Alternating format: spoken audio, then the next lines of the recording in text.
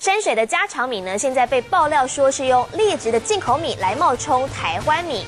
农粮署的部分是已经要求业者要下架回收。今天最新情形如何？马上连线于。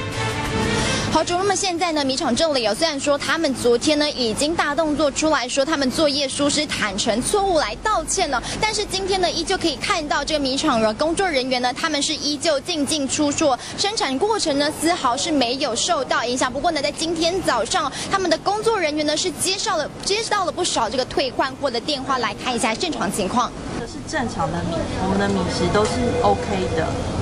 它只是包袋跟它的内容物不符合而已，不符合我们政府的规定。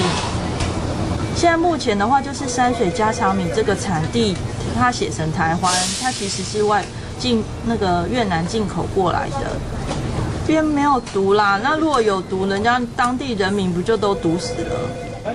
那么可以看到，一大早呢是阿贝骑着摩托车，带着这个还没有吃完的米，赶紧来换货，因为他知道他所买的米呢，其实里面呢一粒台湾米都没有，全部都是进口米。那么现在业者呢，虽然说已经坦诚疏失了，不过根据了解，他两年内就被抓包了这个十八次。虽然说呢，呃，没有标示哦，没有标示是进口米，标示台湾哦，已经严重违规哦，被农粮署呢依照罚款哦来处以二十万元的罚款呢，并限期的一个月内要来改善了。我可以看到这个米厂员工啊，他们依旧呢是工作呢还正在进行当中。那么这也是农粮署呢史上最高的罚款。那么继续呢，这个农粮署也会继续来抽验追踪。以上就是现场的情况，时间镜头交还给彭内主播。